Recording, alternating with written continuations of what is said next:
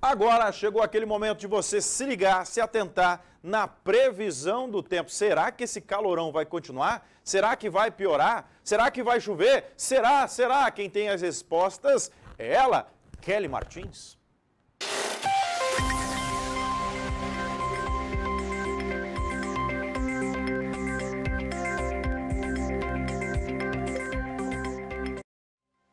Olá, Rude. Bom dia para você, bom dia a todos. É, o sol prevalece nesta quarta-feira. Desde o início da manhã, a temperatura segue alta aqui em Três Lagoas e ao longo do dia também vai ficar ainda mais intensa. Os termômetros podem registrar até 34 graus hoje, viu? E houve aí uma expectativa de chuva ontem, no finalzinho da tarde, mas infelizmente a chuva não caiu sobre a cidade. E hoje a probabilidade está em 90%, segundo o Centro de Monitoramento do tempo e do clima aqui do estado. Então, a previsão para essa chuva é para o período da noite e também na madrugada de quinta-feira. E a previsão e a expectativa das temperaturas para amanhã aponta então que pode haver essa chuva porque as temperaturas estão mais amenas. E eu vou chamar você para acompanhar aqui comigo no painel essas temperaturas um pouco mais amenas em relação à quinta-feira, que tem esse indicativo de chuva então. Olha só, Três Lagoas pode registrar uma mínima de 24 graus com máxima de 31. O município de Paranaíba, a máxima pode chegar a 30 graus. Aparecida do Tabuado, a mínima prevista de 22 com máxima de 29.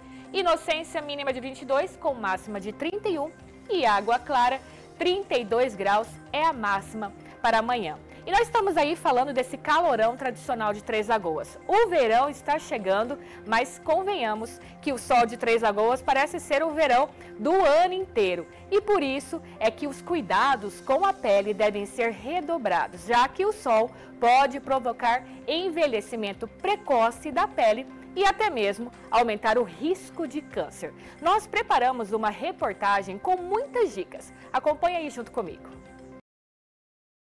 Quem mora em Três Lagoas já está acostumado com ele. Com o sol. Uma das cidades mais quentes do estado tem mais dias ensolarados do que chuvosos ao longo do ano.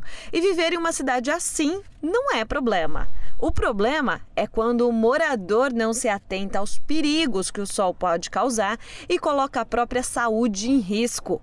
Ficar exposto à irradiação solar por muito tempo pode levar ao câncer de pele. E segundo a dermatologista Maria Angélica Gorga, a pele precisa de uma série de cuidados, como qualquer parte do nosso corpo. O dia a dia da rotina mesmo, o que é importante? Hidratar essa pele com um creme adequado para sua pele, uma boa limpeza inicialmente, um sabonete também apropriado, ah, de preferência os sabonetes líquidos, né?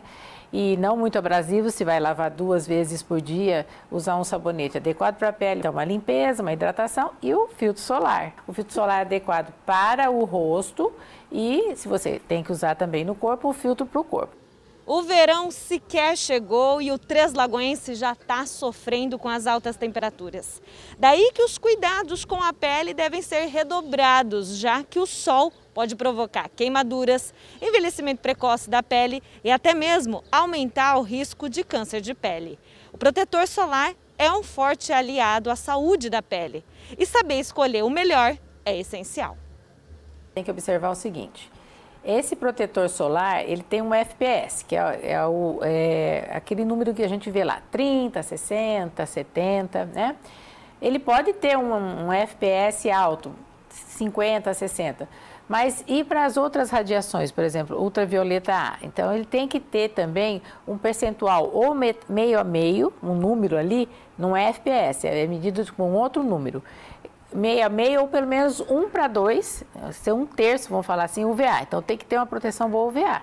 Se não tiver uma boa proteção UVA, não vai estar te protegendo tanto, porque a UVA também é uma radiação nociva. Segundo a especialista, na força-tarefa em prol de uma pele mais saudável, vale ingerir mais água em dias mais quentes.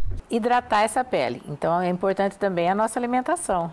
Né? O que a gente come também vai refletir na nossa pele e o que a gente ingere também. Então, muitas vezes a gente troca uma água por um refrigerante Né? E a gente não vai estar hidratando corretamente o nosso corpo e, consequente, a pele, porque vai dar prioridade para outras áreas do corpo. Está faltando água, vai dar prioridade para as outras áreas e a nossa pele vai ficar sem água.